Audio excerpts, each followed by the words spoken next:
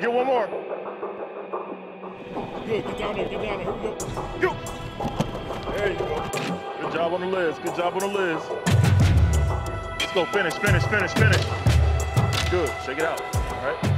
Now let's go one set. All set each other inside. Go. Good, my boy.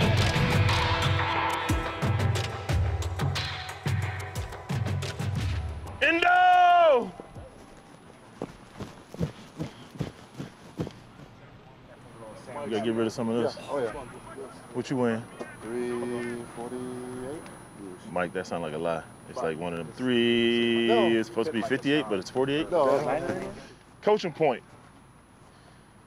Like Big Mike right here. Big Mike's got the, uh, what, the curse. I don't want to curse. Come on.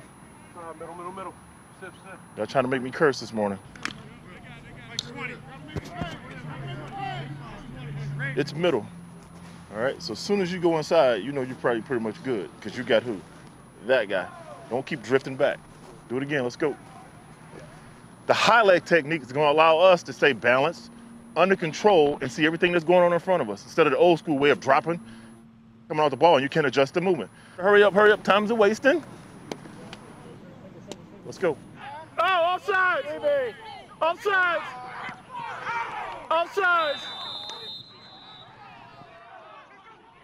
We cannot be dumb five. Cannot be a dumb five. Let's go. Y'all gotta be smarter than I am. And I ain't very smart. You're too tight. Back off the ball. Back off the ball. Remember, you gotta get three steps in before you hit. Go! Good.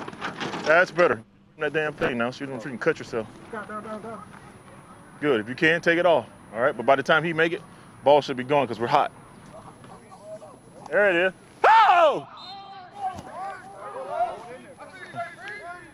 Go! Get out. There you go. Beautiful. Earl, cut him off. We jumped down here. I heard we jumped over there. Ted, we can't be jumping in the red zone. All right. We gotta go. All right. We gotta do better than that. Everybody good? See you in a little bit.